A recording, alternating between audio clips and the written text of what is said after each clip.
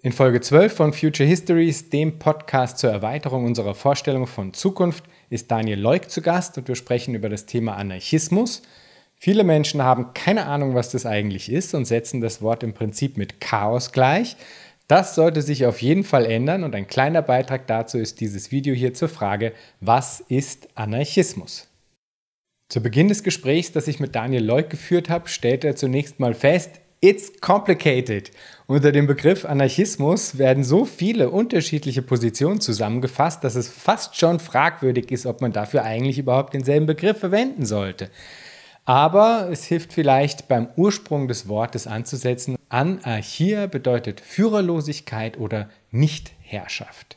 Und das, das schlägt dann auch schon eigentlich die Brücke zu einer der klassischen Definitionen des anarchistischen Theoretikers Proudhon und die lautet, Anarchismus ist Ordnung ohne Herrschaft.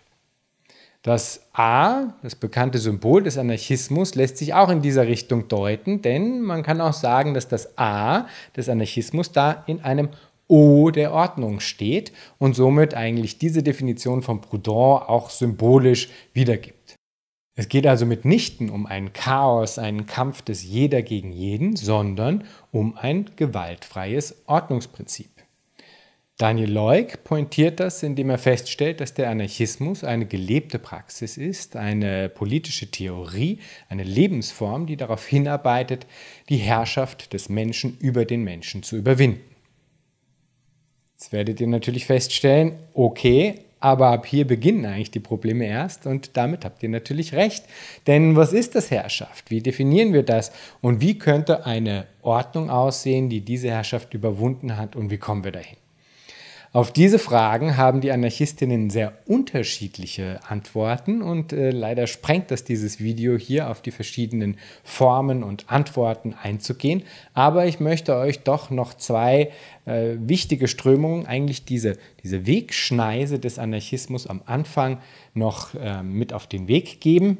Auf der einen Seite, da steht der individualistische, libertäre, liberal orientierte Anarchismus auf der anderen Seite der mutualistische, der kollektivistische, der kommunistisch orientierte Anarchismus.